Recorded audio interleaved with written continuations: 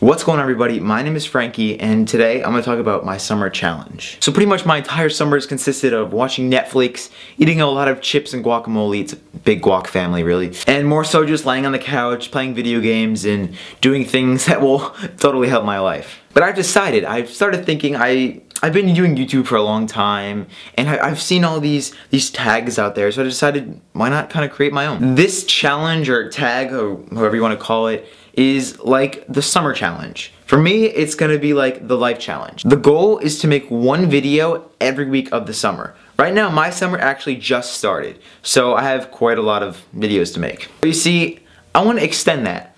See, my goal in life is to kind of become a filmmaker and to make videos just to make other people happy. But I can't do that unless I'm really dedicated like a lot of these YouTubers are. So what I'm gonna do is I'm gonna make a video every single week until I get out of high school. Now, be reminded, I'm only a sophomore. So this gives me a lot of weeks to make a lot of damn videos. Um, pretty much nobody really knows me on YouTube right now. I have like, what, like 10 subscribers, not even, and I'm really gonna start introducing myself, start making skits, vlogs, podcasts, everything. I don't know, it's just kind of like an intro video. But uh, it's also like a summer challenge. So, you know, if you guys are up to it too, if anyone's actually watching this video and has any understanding what I'm saying, uh, you guys should definitely do it too. Just like the summer challenge. For me, it's like the life challenge. But yeah, um, that's really it. Um, I'll have all my social media links in the description.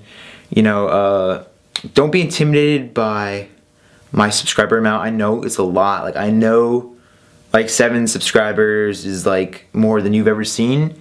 But just, just I'm there. I'm, I'm a friend.